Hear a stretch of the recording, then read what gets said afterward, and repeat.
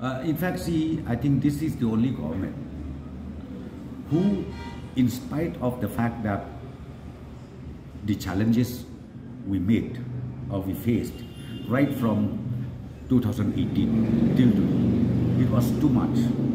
But you never see any unfortunate incident that has happened. So people thought that we are boneless, we are weak from the government side.